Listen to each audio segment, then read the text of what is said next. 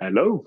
Hey, so we want to share the upcoming uh, core emotional workshop that will be arrival date on the 10th of November, departure date the 14th of November, three full days of powerful unraveling.